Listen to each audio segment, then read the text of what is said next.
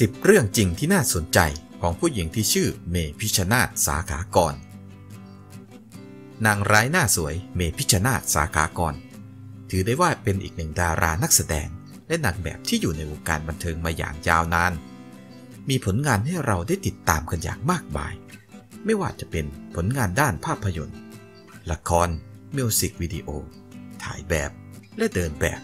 ถึงในช่วงหลังๆ เราจะไม่ค่อยได้เห็นนางร้ายสุดแซ่บคนนี้กันมากนักในละคร แต่เธอก็ยังมีผลงานด้านอื่นๆ ให้เราได้ติดตามกันอยู่ตลอด พร้อมทั้งนี้เธอก็ยังได้หันมาทำธุรกิจส่วนตัว เกี่ยวกับร้านอาหารอีกด้วย เรื่องที่ 1 ประวัติส่วนตัว เมพิชนาธชื่อจริง พิชนาธสาขากร ชื่อเล่น เม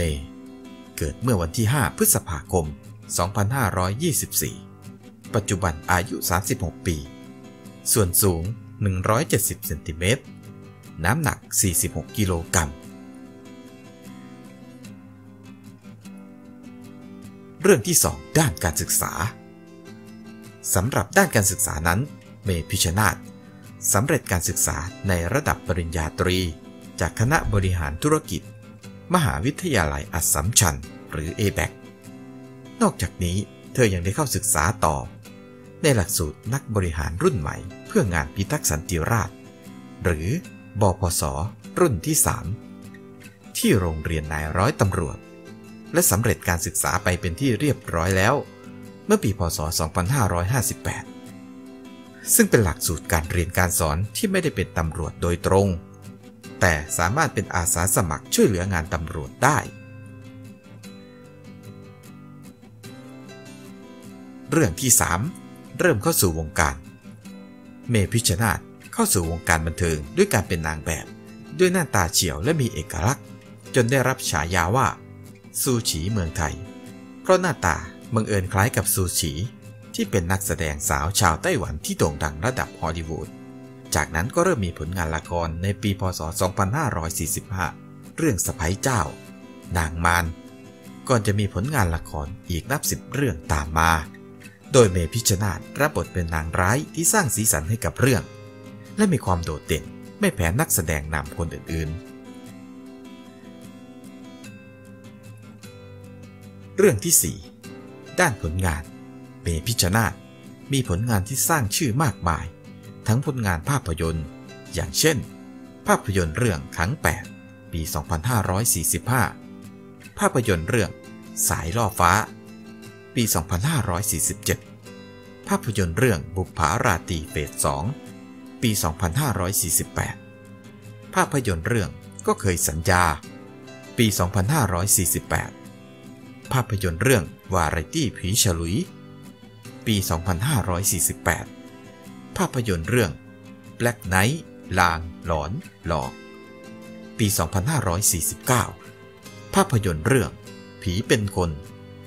ปี 2549 ภาพยนตร์เรื่อง เหยินเป๋เล เซมากุเตะ ปี 2550 ภาพยนตร์เรื่อง The Fatality ตอกตราผี ปี 2552 ภาพยนตร์เรื่อง มือปืนดาวพระเสา ปี 2553 ภาพยนตร์เรื่องศพเด็ก 2002 ศพ ปี 2554 ภาพยนตร์เรื่อง The Way มักปี 2556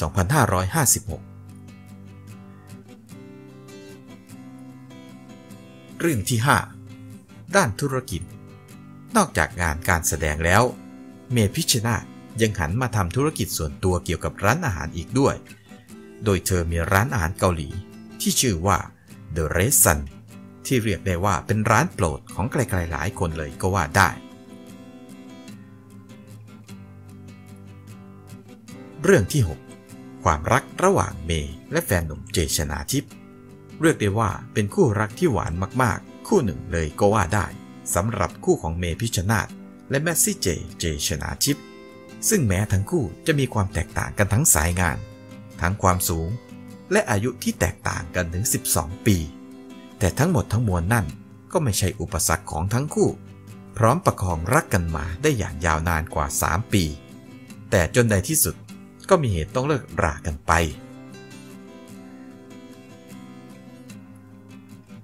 เรื่องที่ 7 เหตุรักร้าวเมเจ แม้จะฝ่าฟันอุปสรรคครองรักกันมาถึง 3 ปี สุดท้ายแล้วก็ต้องเลิกรากันไปในที่สุด โดยล่าสุดทั้งคู่ ได้ออกมาประกาศว่าเลิกกันแล้ว เนื่องจากปัญหาหลาย ๆ อย่าง ทั้งทางบ้านของเจไม่ค่อยปลื้มเมย์สักเท่าไหร่ และก็ยังมีปัญหาอื่น ๆ อีกมากมาย โดยเมพิชนาได้เปิดใจว่า ตั้งแต่เราคบกันแรกๆแม่เจเรียกไปคุยว่ายังไงคู่นี้ คิดจริงจังถึงขั้นแต่งงานไหม เจเขาก็บอกว่าจริงจัง คนนี้ผมรักจริง แม่เขาก็บอกว่า ขอให้สร้างสนามฟุตบอลเสร็จก่อน และขอให้เจบวชก่อน แล้วที่ผ่านมาทุกอย่างก็ดูไปในทางที่ดี สนามบอลก็สร้างเสร็จแล้วด้วยเม็ดเงิน 30 ล้านบาท เจจัดการด้วยเงินสด เจบวชเรียบร้อย หลังจากนี้เราทั้งคู่ยินดีที่จะมีข่าวดีเรื่องแต่งงาน เมย์ยอมรับว่าดีใจมาก พ่อแม่เราก็ยินดี เมย์เองอายุ 36 แล้ว เมย์พร้อม เอาตรงๆ คือรอแค่ผู้ชายมาขอ เมื่อเจไปคุยกับพ่อแม่ เมย์ก็ไปคุยด้วย แต่คำตอบที่ได้คือเลิกไม่มี ถ้าจะแต่งต้องรออีก 3 ปี และอีกเหตุผลของแม่เจ คือเมย์กับเจเกิดปีไก่เหมือนกัน อยู่ด้วยกันไม่ได้หรอก ตีกันตาย เมย์ช็อกมาก เราทั้งคู่ร้องไห้ต่อหน้าพ่อแม่เจ